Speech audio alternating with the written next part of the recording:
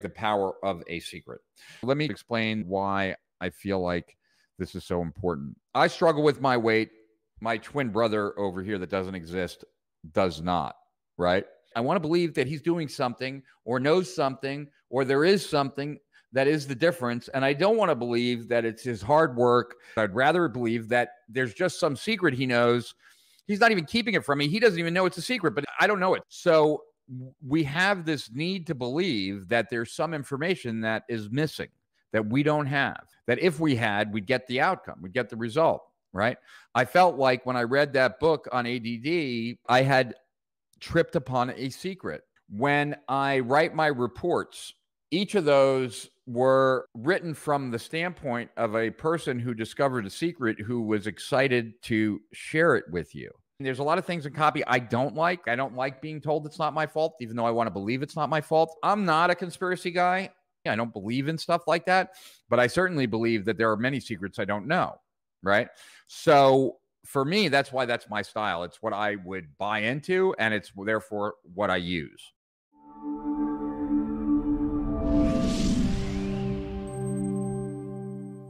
Hello. Wow. I'm super excited. So, we're going to be talking about copywriting today. Obviously, copywriting is the language of marketing. If accounting is the language of business, copywriting is the language of marketing and also the language of profit. I want to tell you a little bit of a backstory, but before we even go into the backstory, what my intention today was to share with you notes that I took over 20 years ago when I went to my very first copywriting seminar. These notes helped me make a lot of money. And so my hope is that they help you make a lot of money. And uh, what else? So I've never considered myself a copywriter. I still don't consider myself a copywriter. I've written a few sales letters. They have done well. I've written some reports and those have done well, but I've never written outside of my space. And so that's why I don't really consider myself a copywriter. I know how to write to people like me or in my market, but I've never gone into an industry I knew nothing about, had to write something for someone else and learn it. So that's why I don't consider myself a copywriter. And actually, I was having a conversation with Mars, my friend, and it might even be downstairs in my backyard. One of the things that Mars pointed out to me is that all I've really done has taken what I have always done, right? Talking to lots of people, finding out what's working, what's not, and taken that part of my life and shared it with you. And that's really like another way of looking at steal our winners. And that's why I've always been at the forefront because I'm always asking people. And then it's that cross pollination of ideas, right? Of seeing what's working in multiple places that then gives you new ideas for things that nobody has ever done. So just another way of kind of thinking about it. All right. What was I going to tell you? The first business I had was the clothing business. We turned the store into really like the hottest store in Manhattan where all the celebrities shop all the designer shop was the first store to bring brands like Diesel into the United States. We were also the first store to have DJs in it, I believe. I could be wrong on that. And we were the first store to create our own music as well. Built a recording studio right in the middle of the store. Electronic music was hot at that time or had gotten hot. So we did well. And then I decided I didn't want to be in that business anymore. And so I took a year off. I went trying to figure out what I was going to do next. I actually went back to college because I had dropped out my senior year. So I finished my degree, got my accounting degree, which made my mom really happy. And then after that, was trying to figure out what was next for me. I was reading Time Out magazine, saw an article about a hypnotist. Her name was Julie Flanders. I decided I wanted to get hypnotized. I had never been hypnotized. Didn't know whether I was hypnotizable or not, but wanted to experience it and ended up going for hypnosis and had such a profound experience because I'm highly hypnotizable. And that then put me on this path of wanting to learn hypnosis. And when I built a business around it and uh, we opened our first office, I thought I understood marketing. I thought I understood how to make things cool and hip. And I had, right? That's what I had done. And so all the advertising we had done up until that point, like in the music business and the clothing business, was image right? So we didn't run any direct response advertising. We ran all image style. And so now that I had a hypnosis center, now we had to get the phone to ring.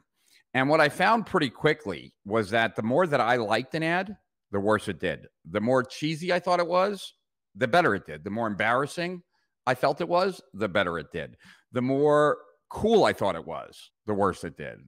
So I recognized pretty early on that there was something that I was missing. That is what led me to have to start learning first, even understanding and learning the word copywriting and what it meant, and then starting to learn copywriting. Just out of curiosity, I know that I've shown it way ago, but I have a three minute video about the store. I have shown it before. Curious how many of you have not seen it. Here we go. Sorry about that, but here we go. We embrace that. We try and give it. It's a question of putting on a performance every day. We don't consider it a job. We consider it a lifestyle. I'd rather work all day. There's always something exciting. Every day there's new stuff coming in, and every day there's new stuff coming out. The store isn't the same from Monday to Tuesday. The customers here are looking for reasons. It's okay to do this with that because it's your life, so do it your way. And that's what the antique boutique is. We created a, a place where you can use your individuality to pick out the kind of clothes that you want. And with that, you come out of the store with a completely different look. every time I come in here, one of the salespeople is like, "Oh, we just got in that I think you'd love," and they show me like something with glitter and sparkles, and I always love it. Here, really, all our customers are a, a way to individuality. It's all about individuality. It's all about And the phrase that we like to think of, that you're constantly changing, you're constantly going through, and therefore, the style here can't be defined, there's no name for it. Everyone creates their own style. My favorite thing about working here, look at, we never suppress individuality. There's no dress code here. We want people to be themselves, so that can be projected out to the customer. I get a lot of cram, I get a lot of, I get this spread like, We know fashion, we know what people like. The store is based on personality, and the clothes speak for themselves. But the employees here, we try to groom to be different and interesting. That's making the selling experience fun. I entertain them. I serve them. I give them, I make them look good. I give them an attitude. I make them feel, and that's what we try to do also inside the store, aesthetically, creating an environment that's completely different than any other environment out there. here we use both the vintage clothing, and that's really the only way that allows for any deep originality. The clothes are really great, uh, nice and stylish and trendy. I just entered the place and I bought something immediately. Retailers from across the world come in here, from big chains like the Gap. And the reason they come here is because we're constantly changing the environment. They want to understand what's going on. We're, we consider ourselves the self-fashion retailing, and we're constantly trying to change what retailing is all about. And the industry knows that, and that's why they keep coming back. If we're just constantly trying to better ourselves, it's not going to work. What we have to do is constantly reinvent ourselves. We have to constantly figure out how we're going to get this place to a totally different direction. And by doing that, there are no competitors. There are no substitutes. There's nothing like this store anywhere in the world. So that was my store. It was one of Madonna's favorite stores, Drew Barrymore, tons of celebrities, and also tons of designers shop there. So it was a very interesting experience, but that's not the purpose of today. The purpose of today is to tell you that I thought marketing was just that. But my point is that cool and direct response often are not in parallel. And I see here Uma Thurman is the other that, yeah, used to shop there. Also, fun fact you saw the front of the signs, they used the front of our store for Seinfeld. The store was called Rudy's Antique Boutique. And yeah, that was mine. And I had to sign off on it so they could use it. Who were the designers? Dolce & Gabbana came in all the time. And if you've watched enough of my live streams, you probably noticed that my weight goes up 10 or 15 pounds, goes down 10 or 15 pounds. They would notice that too. Calvin Klein, Giorgio Armani, all the designers from Diesel, would come in. I would take them to my warehouse. Anyway, it was like the number one store in Manhattan at that time. And if you can imagine sleek, cool, and hip, it doesn't generally go hand in hand with direct response before and afters and things of that nature, right? I wish I could find some of the ads that bombed. Getting this to work, getting the advertising to work was challenging. I didn't even know what copywriting was. Before the internet, everything wasn't as connected, right? It took me a while to figure out there was this thing called copywriting, that there were people that were good at it.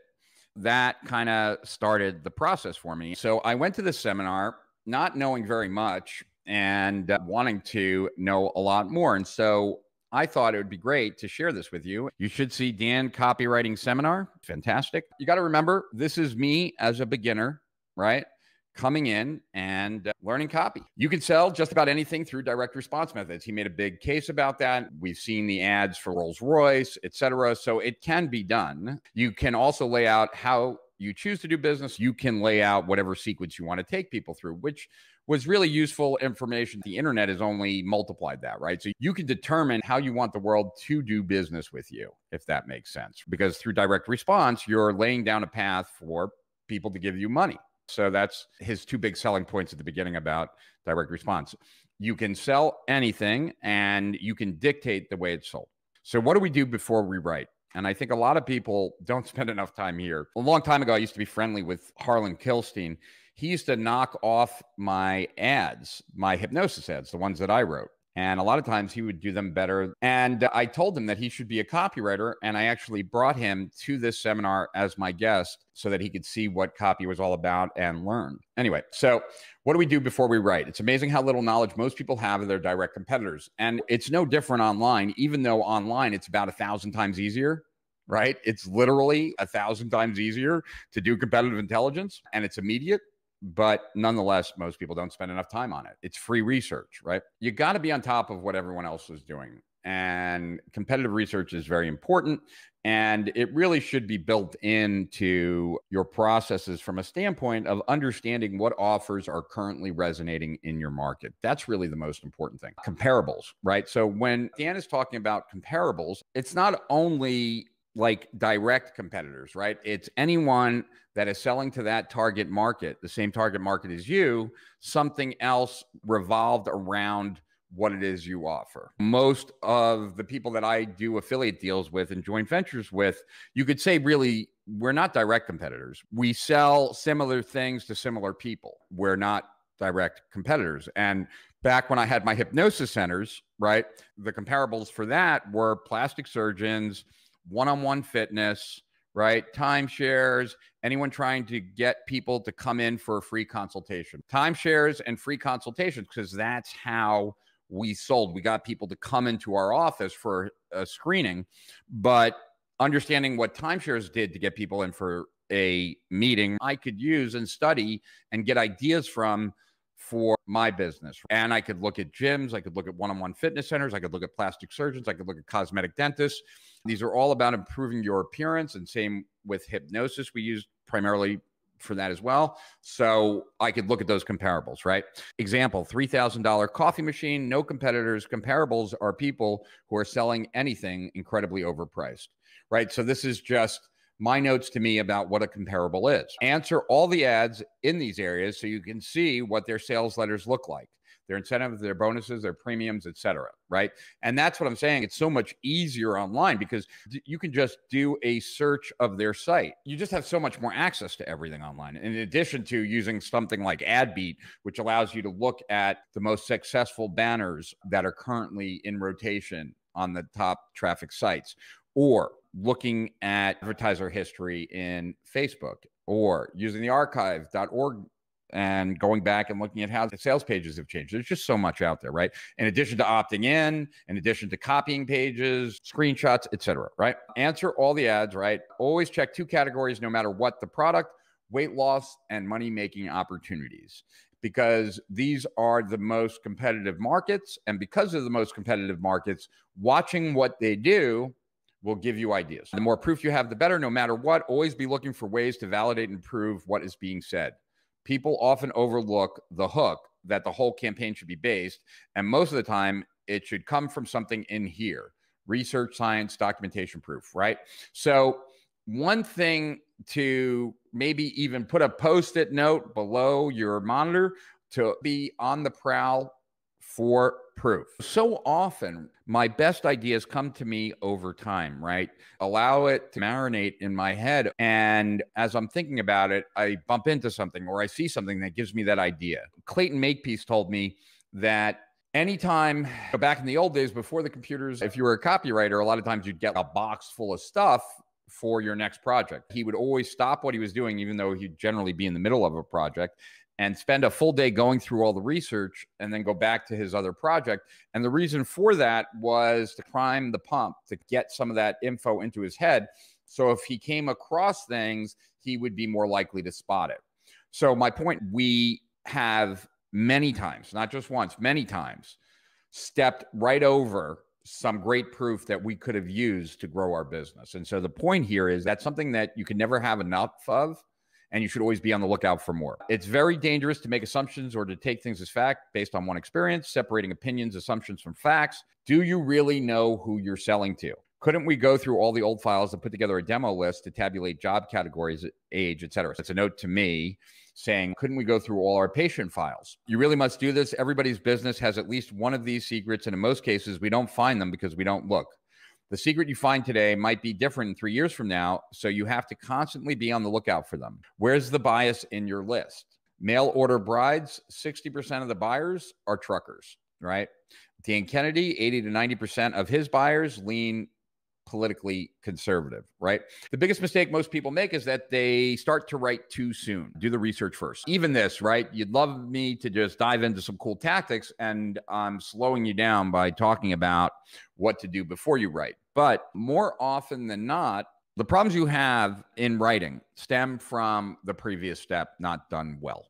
If you do research and then write an outline, right? If you can't write the outline, something went squirrely in the research. I forget the way it was explained to me. Generally, problems in the writing process, when you experience a challenge, it's because the step before wasn't done that well. And the experience that I've had at Agora, where the whole primary part of the sales letter is somewhat templated approach, it's just the big idea and the hook and the lead that is so integral, and that copywriters will spend weeks if they have eight weeks to write a sales letter, they might spend five or six weeks just on the big idea, the headline lead hook, and then just spend two weeks on the rest of the package. And so this should show you that if you are writing sales letters or writing sales pieces by just jumping on and writing it with no pre thought or just a little thought, odds are you are sacrificing conversions. All right, so let's move on. Okay. Establish authority. This is what Dan has always taught, even in presenting. You got to establish who you are, why you're here early in the conversation. There's two questions there. Why are you someone I should listen to? And why should I listen to you about this specifically? This is not a place to be modest.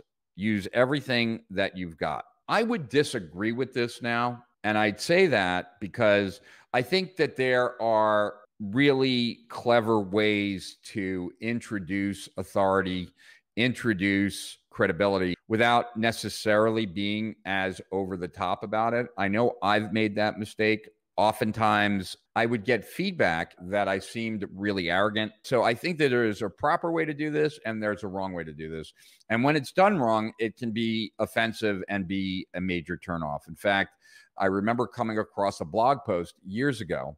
I'm sure it's still out there and I should find it. But this woman wrote this blog post how she wishes she would have listened to me years earlier, but that I was speaking at a Frank Kern event. And for the first five minutes, all I did was talk about my accomplishments. And so she tuned me out. Later on, she found out that I'm an introvert and I'm uncomfortable talking to groups. And she cut me some slack. And what I was talking about would have saved her many years, whatever. So that was the idea. Anyway, this is not a place to hold anything back, but you want to be subtle in the way that you introduce these things. I wouldn't say that I'm the best at it. I think Russell does it really well. Kern can do it really well. Do you have any good examples of subtlety with this? I think social proof videos are the fastest way to assert authority and credibility online. Okay, telling them what something is not. And uh, I just remembered this recently because I'm thinking about possibly doing something like this for Steal Our Winners. Steal Our Winners is not your traditional pay $50 a month, get a single guru inviting another single guru on when they have something to pimp out. That's not what Steal Our Winners is. Steal Our Winners is not eight pages of whatever's on my mind each and every month. It's not that either. It's not this, it's not that, it's not that, right? So telling the prospect what the product isn't is a reliable, successfully used copywriting technique. This is especially useful when you're staying blind and do not want to reveal exactly what the product is or wish to delay it to build up response. The not list is always a way of allaying objections. Your prospect has a list of things he or she doesn't want your solution to be. Like, so if you're selling weight loss, right? They don't want prepackaged foods. They don't want starvation diets. They don't want to have to exercise like crazy. They don't want to have to calorie count. They don't want to have to be hungry. They don't want to take dangerous pills. They don't want to weigh in once a week like they do at Weight Watchers, whatever. Right. Another way to use the what is not approach is via a without. I completely forgot about that. I could do a steal our winners ad that is build your next multi-million dollar funnel or online business without buying another course, without joining a coach group, without could be another interesting way to do it. It's not your fault. Now, this is the one that bothers me the most because I think if you're good at what you do, you shouldn't have to say it. You can get people to think it, right?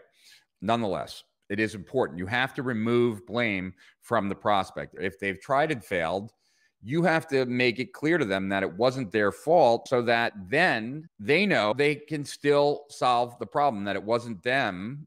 It's really the method, right? Or a secret wasn't told or something. But ideally, you aren't saying it's not your fault they're thinking it's not my fault. It's the difference between showing and telling. And also, like when someone's trying to sell you, how much do you believe of what they're telling you? There's a really big difference if I go into a car dealer and I get a compliment on my shoes from the salesperson versus someone who I'm not in a sales situation. It's totally different. And same here. We tend to discount what's said in a sales situation what if there was finally a weight loss pill that really worked? If you've tried to diet after diet and still unable to lose weight, it's not your fault. If you tried and tried to lose weight but haven't, do not blame yourself. You get it hopefully, right? Uh-huh. People are always searching for ways to get off the hook for their problems. You have to put the blame on someone else other than them. So we're on five fear and anxiety. In many cases, it's easier to fear sell than to benefit sell. Fear has a tendency to move people the fastest. Find your fear statement, the one thing that can scare people into response. You may be one diet away from a massive heart attack. You may be one diet away from developing diabetes. You want to be as far away as possible from prevention. You cannot sell prevention, right? That's the difference between medicine and vitamins, right? You can't sell prevention. You can sell relief. If you're going to do fear, don't do it halfway or don't hold back. You must go for the jugular, go all the way. You must scare the person nearly to death, build the list of scariness, and develop each point Using a person's anxieties and insecurities requires less drama and is more in keeping with the Robert Collier principle of entering the conversation already occurring in their mind. If you're going to use fear as a motivating force in copy, you must pull out all the stops. Fear should be piled on and made as dramatic as possible. Remember that prevention is the most difficult of all sales to ever make. So when dealing with it, you must scare the person nearly to death. All right, so let's take a look at some of the questions and then we can see what we have here. Let's see. All right. All right. Hi, Rich. In my opinion, it's not possible to create unique copy out of these box softwares, except perhaps use them as a draft copy creator. So perhaps there are a couple of things to consider before buying one or two. I would agree. I don't think there's any out there currently where you can just press a button and you're going to have like copy that you can actually just throw on your site without having to do anything. But I would say that a lot of them can get you like 70 or 80% of the way there. And that's pretty huge. That's a huge savings of time. Jay Abraham used to pay copywriters, like just have them on uh, retainer just to write sales letters for products that didn't exist. And he would collect them. And then when it was time for him to write copy, he would sit down and look at all of them and get all different kinds of ideas to then use from the copy that was written for him. And this is no different. In fact, I had a call today with conversion.ai, which is much more, I would say, for the content marketing side than it is for the sales letter side, but really cool stuff. I do think that AI is going to be very much incorporated into copywriting and content marketing. We just did a webinar for Copy Pro. And of all of the AI tools, I do know that Copy Pro is really good for sales letters will only get better. And if I was going to pick a second, it'd be conversion AI, but I'm just starting to play with conversion AI. So I can't say that much intelligent stuff about it yet. How much time do you spend researching before writing a promotion? Remember, right, Wayne, I'm not a copywriter. I don't do research for promotion, but I do research when I used to write my reports, and I did a ridiculous amount of research. And I would be doing research until I came across something that got me so excited and that I believed in, because then I could go to the market and do the very same thing, right? But definitely a long period of time. And it's about finding that idea, finding that thing that has people want to lean in and hear more. Is the big idea the same as the hook? And do you think the headline will always reveal them? No and no. The big idea and the hook can be the same. It all depends on who you're talking to, right? And we're talking about generic words too. So there is no one definitive definition of big idea, right? If you come from the Agora world, then the big idea makes the prospect want to lean in and learn more. What is so important at Agora is to bypass categorization a prospect can't know what it is ahead of time because if they do, they're already now deciding whether they're going to interest it or not before they've read the sales letter. So you're always at a way disadvantage, which is why you generally hide it, at least at Agora. It's not the same as a core concept either. So I developed the core concept, which is really the one idea that people need to believe in order to buy, right? And that's what Russell took his one idea from. And that would be the theme of, let's say, a webinar and then every content piece has to tie back into that theme and support that theme. You're trying to get them to believe that one thing. And if they believe that one thing, they'll buy. So that's a core concept. The big idea is generally something bigger than that. You're generally chunking up and speaking in general. One of my favorites was this guru was pro gold coins. The copywriter talked about this secret currency that the Rockefellers used, that the Mellons used, that all the richest families have used, that was outlawed in the United States for 40 years and has just recently been legalized again. And now you can use the same currency that these families have used to amass great wealth and blah, blah, blah. It doesn't say that it's gold coins anywhere in the promotion. It's a secret currency. So that is a big idea, right? The same investment vehicle that the wealthiest families of all time have used, which was illegal in the United States up until recently, is now been made available. And let me show you how to get in on it. Hey, Rich, at one point you mentioned two of your favorite Dan Kennedy programs or books. Can you repeat what they are? My two favorite ones from Dan were Opportunity Concepts and Influential Writing. Opportunity concepts, how do you package your offer like an opportunity? And influential writing was all about newsletters and how to use them for persuasive things. Is the big idea more of a kind of new positioning or a new opportunity? No, a big idea is more about like how this idea, this whatever's going to be presented relates to the prospect and relates to the world. It's more that. It's not really necessarily a new positioning although it's like positioning of the offer, you could say but I wouldn't make it that deep. It's an, a sexy idea that sells the product uh, for an existing mechanism. Yeah. Copy research question. I'm working on my flow journal and putting together a subscription model, which will include a Facebook group for accountability with a deeper dive workshop. In doing my research, I found a company that has a journal and is doing accountability too. Looking at their sales page, pretty good.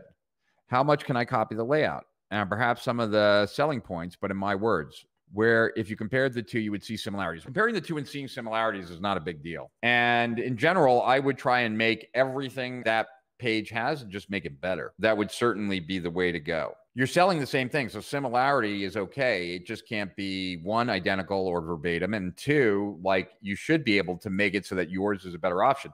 You could also go, Denise, into archive.org and just see like how many times the page has changed over the years. See if they've split tested it and made any permanent changes. So you can get an idea of what doesn't work. And I certainly would buy it. And I would certainly be looking at all their messaging and uh, seeing you know, who links to that site. Maybe there are some affiliate deals. There's a lot that you can learn by doing a really thorough review, Denise. How do you prevent the big idea crossing over into hype? Got a few products recently, not bad products at all, but I felt the big idea oversold what the product actually was. That is a good question, Adrian. And I don't have a great answer for it.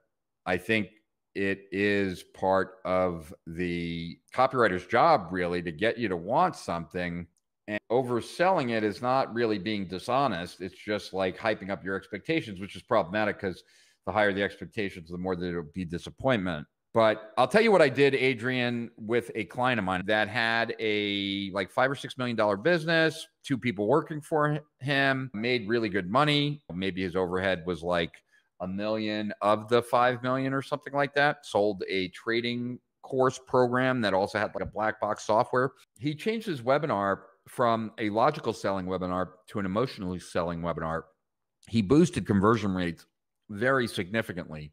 But at the same time, he also increased refunds dramatically. Not enough to not make it still financially worthwhile to do the emotional sale, but enough to bother him. And so what we did was we took the original webinar that sold based on logic. He took the pitch out, which then meant he was reselling them logically after they were sold emotionally. And uh, I would imagine something like that could work, Adrian. Which online course do you recommend for a beginner who wants to learn about copywriting? There are so many good resources out there right now. Really, literally. I would read the Gary Halbert letter. John Carlton's a great teacher. I learned a tremendous amount from Clayton Makepeace. It does depend on what kind of copy you're going to write. The Robert Collier letter book was a phenomenal read and what a great writer. That's a really old book, but phenomenal. And of course, there's like How to Write Good Ads by Vic Schwab or Scientific Advertising. Those are all classics. They all should be read. And really, if you want to get good at copy, you should take some courses. There are plenty of great people to learn from. The way you get good is by writing copy and also analyzing copy that is good right? So looking at controls, taking every paragraph and understanding why that paragraph is there, creating your own outlines of successful sales letters. So now you have templates. That would be a great way to start. And then you find the teacher who you resonate with, and I would follow them. But any A level copywriter, David Deutsch, David Garfinkel, I'm sure I'm forgetting a lot of other Sean Vosler. I love Sean Vosler's book. It's much more a marketing book than a copywriting book, but uh, you learn a lot there. Yeah, there there are so many, and it's hard for me to say which is the best. I really enjoyed. I'll tell you. I don't even know if it's available anymore. But John Carlton used to have a 150 page home study course workbook with a like six audios, and that just brought it down to the simplest thing: sell the damn thing. Here's how you sell the damn thing. And I got a lot of value out of that. I already walked into that course knowing quite a bit, but sometimes like a simple course is sometimes better than a comprehensive one because it just hits you over the head to know what are truly the most essential ones. The big idea in TV commercials is different, often revealed in the tagline what happens in Vegas stays in Vegas, where's the beef, etc. Yeah, totally agree. Good point, Leon. All these landing page funnel softwares are useless if you don't know how to market. So true. How would you define a hook then? In the context of a big idea core concept or unique mechanism USP, I have them all distinguished properly other than the hook think of the hook as for ease, I would say think of the hook as a big idea. Generally, it's a bigger hook, but they're very comparable. So I don't think you'd be off on that. But what I would say is that a lot of times there is no big idea, but there is a hook. Rich, a few times you mentioned that you were really not a copy guy. What is your strong suit then? Strategy, systems, marketing. Like those are my primaries. Remember, I was a business coach, coached a lot of people on success. I wasn't coaching them on their copywriting ability. More in that vein. I'm not really hireable as a marketer. Can't hire me to do marketing because if I'm going to do that, I'll do it for myself and I'll always make more. It's hard to pay me to do a marketing project where I couldn't make more just doing my own marketing project. But yeah, I'm a business strategy guy who's mastered marketing, you could say. I guess that's what I would say. In training I've watched of yours, you say when you're doing research, you're looking for clues as to why people aren't getting the results they want. Can you elaborate on that? Yeah, sure. So I find that people, they're impatient they haven't done a lot of research or original research. That could be another reason. I like the show Forensic Files. When a crime happens, the police are called. In that moment, they're much more interested in looking for clues that will lead them to who did this. So they're not looking for answers, they're looking for clues. That's what I mean. That when I'm doing research, I see everything as clues. And where is this leading to? Right? Trying to see patterns, it's interacting with the information. So, what's the implication of that? If that's true, what should happen next and next? That's true. Who else might be talking about this and what might they be saying about it and what words might they be using so I can do a search for it? It's about recognizing that whatever I come across is really just a jumping off point to the next point, as opposed to thinking, that I found my spot. That's probably the best way to look at it. That everything I'm finding will lead me to the spot, but it isn't the spot. And that if I want some research, if I want to come out with something that blows people away, stuff that they might have thought, might have had an inkling of, but never articulated, that's only going to come from doing more work. You're not going to just come up with something like that. So that's where I'm coming from. Should we even learn copywriting given that we have software like CopyPro? Yes, because how are you going to tell the difference between good and bad? How are you going to take what is decent and make it great? Everybody should know some minimal amount of copywriting. Even though I don't consider myself a copywriter, I've read hundreds of books on copy. I've written copy. I know how to write copy. I think understanding what gets people to buy, the language of selling is incredibly important and everyone should know about it. Hello, Rich. Have you heard or tried Conversion AI? Yes. I was talking to the owner today, which is an AI driven software app used to generate sales copy, amongst other things. I think Sean Vosler is an affiliate. There he is in the house. Seven Secrets of Persuasion by James Crimmins is a solid read as is your book, which I would hold up right now. Wait, I think it's there. Hold on. My new favorite book on marketing right here, written by Sean Vosler, which is just absolutely awesome. I don't know. There you go. Yeah. So, anyway, good to see you, Sean. Your name came up like four times today in different conversations. I spoke to David. Thanks for that hookup, man. Want to catch up. Oh, that's it kick-ass copywriting secrets of a marketing rebel that was so simple and basic you could get in and out of it in two hours and it was just like okay just sell the damn thing. There was a lot of good stuff in there. In your opinion which comes better short or long copy? I usually find long copy very boring and i scroll down to the conclusion and the offer. It all depends amit short copy can work at times long copy can work at times. Generally though if you're talking to the right target market the as long as it needs to be without being boring is the important part. And there are things i would imagine amit that you would read a 20 page sales letter on. Maybe not the things that you've come across, but if you had a challenge and you've struggled with it for a long time and it was written in a way that wasn't hyperbolic, but it was explaining to you like why you didn't get the results and what you could do to get the results and why this method works and blah, blah, blah, you would read it, right? So there have been times when you've read copy. Maybe you just haven't come across any great copy recently. Rich has one of the first bound copies. Yeah, I flew all the way to San Diego just to get my hands on it. The book is beautiful and the content's even better. I owe Sean ridiculous amounts. He's awesome. I've learned a lot from him in the year or so that we've become friends. Yeah. And I've never met someone who is a more, what would be the word, aggressive researcher than I am. And man, if you think I'm a nut, Sean is nuttier than I and blows me away when it comes to the research. Sean, when I say that you're a better researcher than me and that you're just like balls to the wall with it, people are like, no way. And I'm like, take a look at this. All right. So, guilt. Guilt is the hidden emotional baggage carried around by most people waiting to be triggered and exploited. Oh, wait. Someone asked me when I was saying about fear and anxiety, they said, isn't that manipulative? And look, there's a million ways to dance around this. At the end of the day, copywriting is manipulative. It just is. Like you're trying to get someone into an emotional state that will get them out of their status quo. We manipulate people all the time. We just don't like the best book I've ever read on persuasion, which really tackles this, I think, head on, is Blair Warren's The Forbidden Keys to Persuasion. And he talks about it like the first time that your mom gave you a bad answer and you went to your dad, that's manipulative. We manipulate all the time. So, yes, making someone be scared, making someone feel guilty is manipulative. And copywriting and marketing is manipulative. It can be used for good, it can be used for bad, but at the end of the day, it is manipulation. I mean, take it for what it is. So that's the way I look at it. Is there a difference between persuasion and manipulation? Is there a difference between persuasion and manipulation teaching? It's all context. So, anyway, guilt is a hidden emotional baggage carried around by most people waiting to be triggered and exploited. If you were going to do this, then go all the way, don't hold back.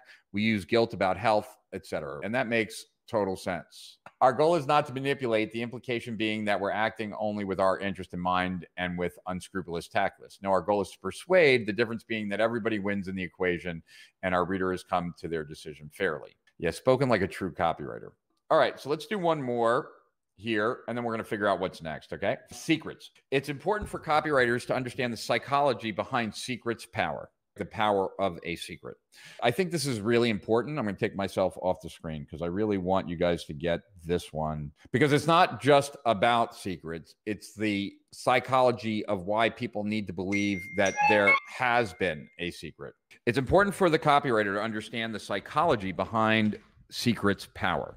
So you will be more inclined to use this tool. There are two underlying reasons why secrets work. We have been conditioned since childhood to believe in and want to believe in secrets and by extension conspiracies. Of greater importance, people need to believe that their problems are the result of secrets kept from them and conspiracies against them. The alternative is to admit to responsibility and fault. Let me read the rest and then I'll. That to me, though, is incredibly important. The existence of a secret kept as a conspiracy is used frequently to sell diets to tabloid readers. The belief in secrets and the desire to be let in on what has been secret is one of the most powerful of all buying motives, easily manipulated by the copywriter. Letting them off the hook, people must believe that their problems stem from some secret that they don't know, preferably kept from them by some conspiracy, that if they found out would resolve their problems. The secret is the hope. We are in search of hope. We live for hope because the alternative is unacceptable. There, this is one of the most powerful techniques. There is always one secret that you didn't have before. Hope is a drug of mankind. They've got to have it, so you might as well use it. After secrets, then you go into what it's not because you can't tell them what it is, or it wouldn't be a secret. All right, so let me explain though why I feel like this is so important. So I struggled with my weight most of my life, right? I was really fat. Then I discovered the Atkins diet, and that was a secret. It wasn't a secret being kept from me, but it was a secret to me. I didn't know it, right? Most things that we learn before we learn them, they were secret to us. It's not that people were trying to keep this secret from you, like the big pharma is trying to keep you fat, right? But if you don't know it, it's a secret. I struggle with my weight. My twin brother over here that doesn't exist does not, right? I either have to believe that he knows something I don't, a secret, or that I'm fat and lazy and he's not, and I should just accept my lot in life. I don't want to accept that, right? I want to believe that he's doing something or knows something or there is something that is the difference. And I don't want to believe that it's his hard work, his ability to curb his appetite, his ability to say no to the second Oreo, or the 10th Oreo for me. And I don't want to believe that it's any of those things. I'd rather believe that there's just some secret he knows. He's not even keeping it from me. He doesn't even know it's a secret, but I don't know it. So we have this need to believe that there's some information that is missing that we don't have. That if we had, we'd get the outcome, we'd get the result, right? I felt like when I read that book on ADD, I had tripped upon a secret. When I write my reports each of those were written from the standpoint of a person who discovered a secret who was excited to share it with you. So I'm not a conspiracy guy. And I, there's a lot of things in copy I don't like. I don't being told it's not my fault, even though I want to believe it's not my fault. I don't want to be told that there's like some secret cartel that's trying to keep a secret from me. I don't believe in stuff like that. But I certainly believe that there are many secrets I don't know. Right. So for me, that's why that's my style. It's what I would buy into, and it's therefore what I use. So, what I'm thinking, I've introduced a bunch of concepts to you, but I haven't really taken it to a point of usability. I want to show you some things that I've done that have helped my copy quite a bit, some easy things. I'll also put these notes in the Strategic Profits Facebook group. So if you're not a member, please join. We'd love to have you there. Lots of heavyweights in there, including the big Sean Vosler. 10th Oreo for the win. Yeah. If I could stop at 10, it would be okay. All right, Sean, just because you asked, I'll tell this story one last time. But the reason I don't like telling this story so much is that everyone harps on the book, and the book really has nothing to do with the story although for this point, maybe it does because we're talking about the book. A psychologist recommended that I might have ADD when they told me that, I thought that was the stupidest thing I've ever heard because I tend to hyper focus, not knowing that hyper focus actually, is a tendency of ADD. And so a year or two later, I happened to be in a bookstore. On the end cap, they had the book Driven to Distraction, written by uh, John Ratey and Ned Hallowell. It felt like they were describing me, and it made me feel as if I really only had one problem. All these problems that I was experiencing were really just symptoms of ADD. And that's what my entire free report model is based on. And Driven to Distraction is not the only book that does that. eMyth does that too. You open eMyth thinking that like you have X problem, you have Y problem, you have Z problem. You close that book, you think you have one problem. You have a systems problem. Getting things done. Your to-do list is the problem, right? So all of these books are repositionings of the problem. They're paradigm shifts on the problem. And so the Internet Business Manifesto, the Entrepreneurial Emergency, these were all like following that template, following that model. So hopefully that is elucidating to some of you. Just once again, thanks for being here. I hope I gave you some things. Think about what things are not.